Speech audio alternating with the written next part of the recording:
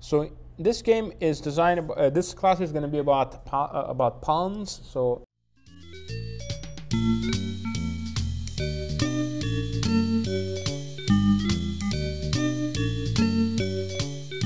I found this game that I played actually recently against a good friend of mine, Alex Onischuk, and this is the first round of the US Championship. So I am playing with the white black pieces against Grandmaster Onischuk. So d4, e6. I played this move, I just wanted to see his reaction because, you know, if people play e4, then I can trans, if he plays e4, I can transpose into knight d5. That way I have uh, uh, transposition to the French defense. So that is the point of d4, e6, because if he plays e4, I can transpose into the French defense. So my, my opponent is not an e4 player, so he played the move c4. I play f5, knight c3, played by Onischuk, knight f6, g3.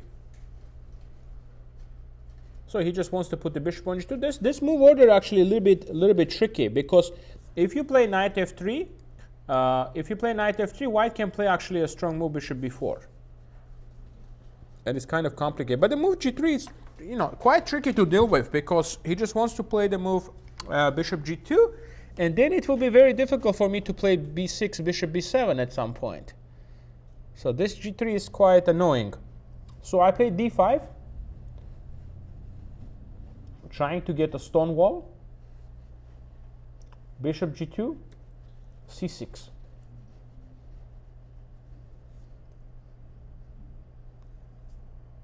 Knight h3, bishop d6.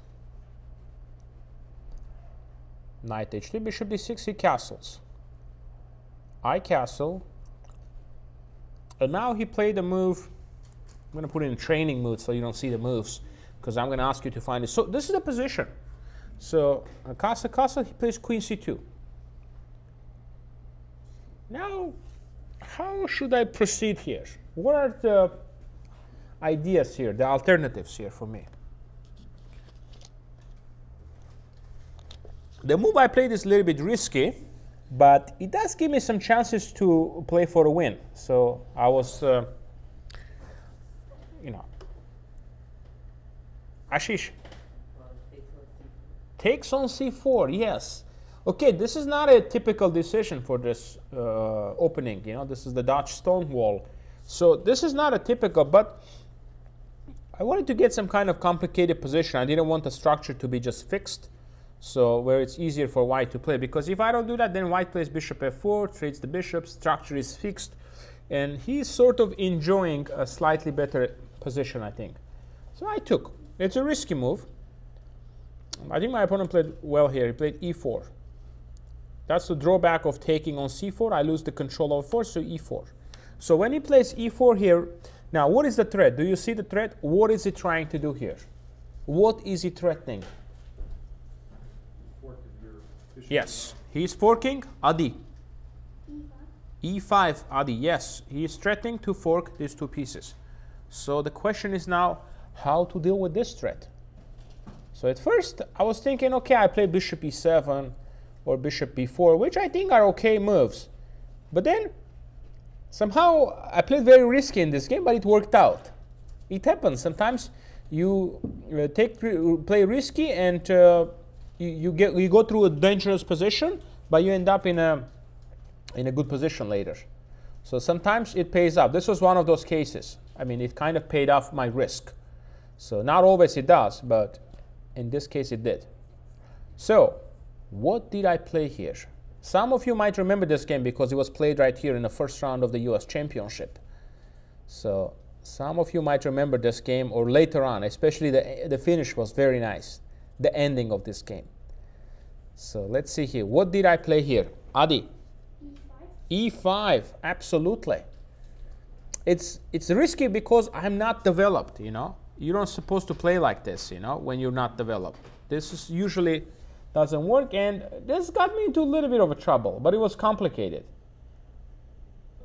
It was never a big, big trouble. It, it was, you know, a little bit shaky at some point. So he took, which I was expecting it. I took it, looks like, wow, I have these two wonderful pawns in the middle. All I gotta do is protect them, finish up my development. Things should be easy, but very strong response, 92. And suddenly I have a problem here. I have two pawns that are hanging and uh, very difficult to do anything. Both pawns are hanging, so now if I play d3, he plays queen c4 check. So what to do here? As, because if, if I lose all these pawns, I'll be in big trouble. So I don't want to lose all these pawns. So we got Ashish there raising his hand. Go ahead, Ashish. Uh, c5. c5. Why c5? You ready to give up c4? Okay. Well, um, it's better to lose c4 by hang on to d4. So, but he takes check. He goes here. And this is a critical moment here. I'm going to flip it to your side here. And my opponent played knight g5, which is a very logical move. But here, he had a very powerful move here. And the reason I was hesitant because I was really afraid of this move. Doesn't, doesn't b4 look interesting? Absolutely. It's actually very strong. This is what I was afraid of. I would go for this if not before, but before I was like, I didn't have a better choice, so I went for it. But b4 is extremely strong move here. The point is, I cannot play b6. I cannot hang on to my. I'm losing a pawn here actually, because like th this would be a real disaster. This knight g5, knight e6, bishop b2. It's just it's just very bad for me. So this is seriously bad. So I have to play this move. Knight c6, takes and bishop e5 and some complications apparently here white is better white is better but not so simple okay white is better but not so simple okay uh, yeah i was really afraid of before because I, I saw this idea because it's typical you break the position you usually break the center when you have a lead in development but he played knight excuse me no, he played knight g5. I don't think he saw it. If he saw it, he would have played it, I think. Or maybe he didn't like it. I don't know. But I think it's it's very strong because Ashish bishop goes on b2 next. So it's very, very powerful. So he goes here. Knight g5.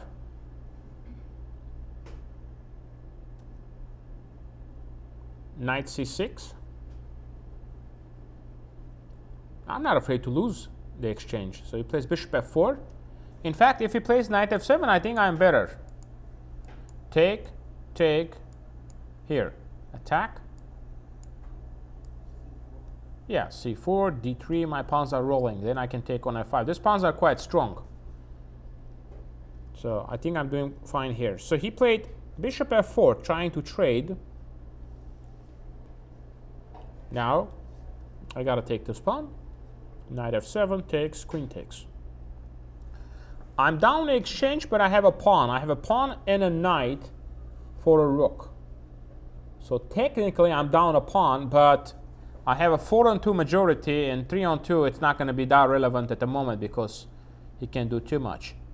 But the problem is my b7 is hanging. So what do I do against this now? How do I try to protect? What would be the proper way to defend it? you know, sometimes you just need to play calm, you know, you don't have to, sometimes you just need to play calm moves and improve your position. You don't have to do anything really, really complicated, okay? Huh? Better, better, little bit better than that. huh? But why queen? Why are you moving the queen? You have a rook there on a8, right, guys? What is the rook doing on an 8? Sitting there on the target, yeah, on g2 bishop. So what we gonna do? Of course you're gonna play rook b8. Protecting it. Now he goes bishop takes c6. He takes the knight.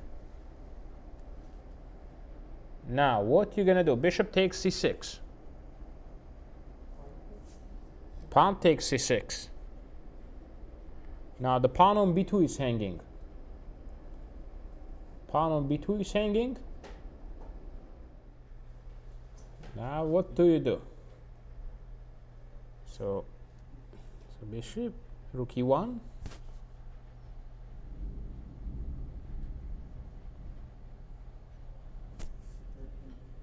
He's trying to use this uh, rook on e file to put pressure. Yes. And now if he moves, you take on f4, you weaken the position. Okay? So that forces the capture. I capture back. Now his b2 pawn is also hanging at some point, but he plays the move rook b8. Uh, sorry, he plays knight c3. Now I cannot take because of which move? Rook e8, eh? So this would be a blunder because of rook e8. So you always have to watch out for the back rank. So now this we're talking about the push pass pawns, right? So when we have a pass pawn, push. Further you push, stronger it gets. And now he goes rook e7. His knight is doing a good job controlling, so he's activating his rook. Yeah, rook g8.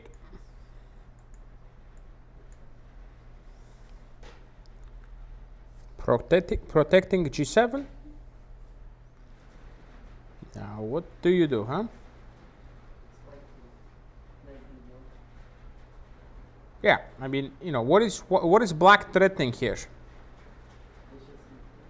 Bishop c4. Yeah, bishop g4 or, you know. So he plays rook a7. He just takes the pawn you know, that's a useful pawn because now at some point he may start pushing his pawn as well. So here I have a couple of options. In fact, uh, when I analyzed the game later on with the computer, he didn't even like my move. He didn't think I played the strongest move. Absolutely, I played bishop g4. By the way, computer preferred move was like queen d3. You know, like with the idea queen d3, queen c2, and apparently black is winning. It can't really defend. So, but I played the natural move bishop g4 because now I'm threatening to play, you know, okay, d1 at some point, and I didn't think he had any other moves except uh, except, except queen e7. Because otherwise I'm just going to go d1. So he played here. And now, again, Maybe queen d3 would have been better here. But I had a specific idea in mind. So I went just for that idea. okay. Yeah, you're right there. Yeah, with the. Uh, okay. What did I play here? Ashish. Queen takes e7. Rook takes e7 knight d5. The point is, if he takes my knight, I take back with the pawn. And I'm just promoting the d pawn, right? So if he takes here, I just take and I promote d1. Okay? He had he had a good defense here, but he made a move that he, he blundered, so he made a losing move. He played rook e2 thinking that if I take on c3, he can take on d2 and he's okay there. And if I play bishop e2, he takes back with the knight on e2. He's maybe okay there too as well. But he missed like a really nice idea here that wins the game on the spot.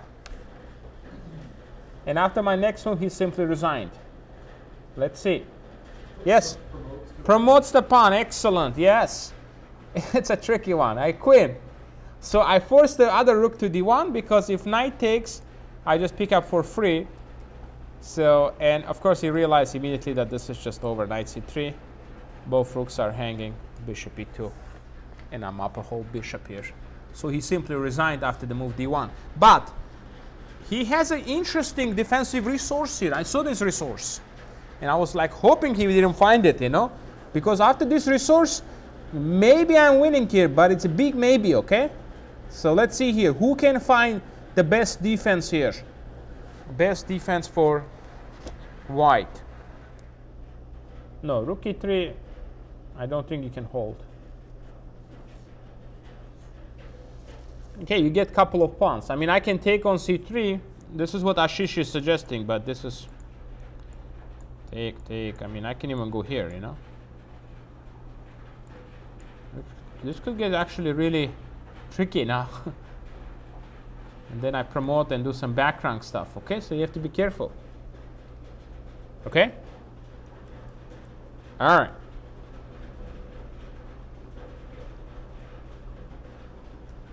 No, it's not that. It's not that. Wait, what are you saying, Ashish? Okay. I don't have to give you my pawns. I know you want to take all the pawns and then maybe claim some chances here, but I'm not going to give you the pawns. Okay? A very clever idea. Like you really want to go rook d7 here, right? You would love to have this square to be able to control after he takes on c3, but you don't have that square right now. Is there a way to get that square, huh? Is there a way to get that square somehow? Huh? Bishop d1? And he got it. The young student, excellent, yes. F3. The point here is, if he takes, if I take only 7, he takes my bishop, then this pawn is not going anywhere. If I take on c3, he goes bc. If I take bishop f3, it looks like I'm just winning here. But now white has the saving move here. Rook d7, and he's winning the pawn back. Okay? And this is going to be a draw after I play d1. So, f3, I have to actually play bishop takes f3. Now rook d7. At least for a moment he stops me. But it's very interesting. He doesn't have too many too many moves here. It's almost like a zugzwang here. And now, who can find a powerful move? because I have uh, problems on the back rank here. So I need this move here. G5, correct, yes. that will allow me to also establish a good strength on f3, you know? So I want to try to do that. g4 to protect it. And now king f2, you just play g4. Or rook f8 idea as well. So if he takes on d5, I take back with a pawn. Pawn takes d5. Now let's say king f2. Now what do you do? G4 even this this works too. This pushes him back because he's on that file, you know. Now you're threatening d1, and if he goes back to g1, the ultimate idea here is you want to try to go here and take on b2 Back here, g4. Now he, he has a he has a difficulty uh, protecting b2 here. And if he goes, let's say knight d1, we switch here, threatening to go rook e2 now. Threatening to play rook e2 check. So he has to go knight c3. And now we capture, he captures, we check. If the king goes back on uh, g1, we have rook e1 check, taking the rook. If he goes here, we take this, check, take that guy as well. And that's the idea. Okay, let's review this game. We have some students who came late so they can see the entire game as well, and that way we can practice it. So, let's see if you remember the entire game. Go ahead. E6. Since I'm a French player, I can start with this move order because if he plays e4, I can transpose into French. So c4, and now, surprise for my opponent here. F5, knight c3. G3 is with idea bishop g2. I, I initially I didn't want to go to Stonewall, but then I didn't have too many other alternatives, so I went here, and now we have Dutch Stonewall, right? knight h3 castle bishop here Queen c2, and here, uh, risky decision. I'm not saying it's the best, but it's a risky decision, but an interesting one. Now he plays e4, trying to threaten me. He's trying to play e5.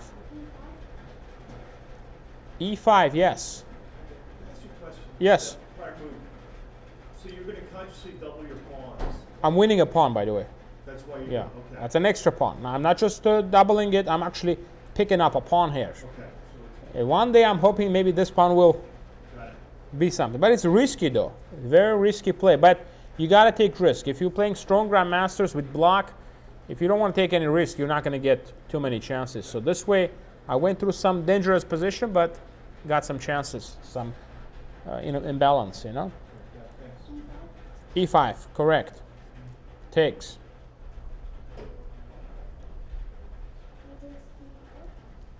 Now he goes 92. Now pressuring on d4 and also pressuring on c4. c5 protecting it. Queen c4 check, king h8. And this is the moment where I was worried.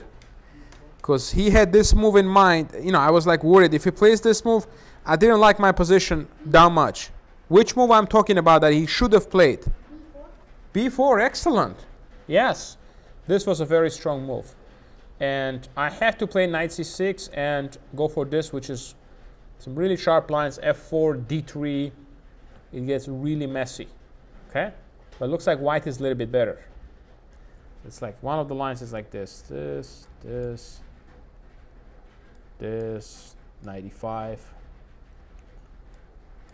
queen b5. So it's some, some sharp lines. White is a little bit better there. The way he played, actually, I thought my position was more or less fine. You know, knight c. What's the move? Bishop f4.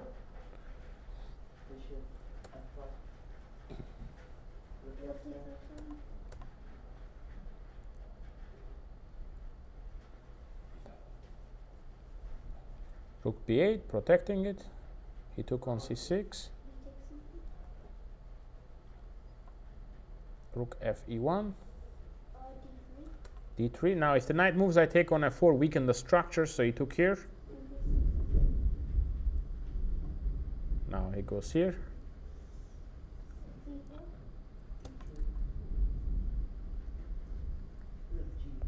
Rook e g8. Huh?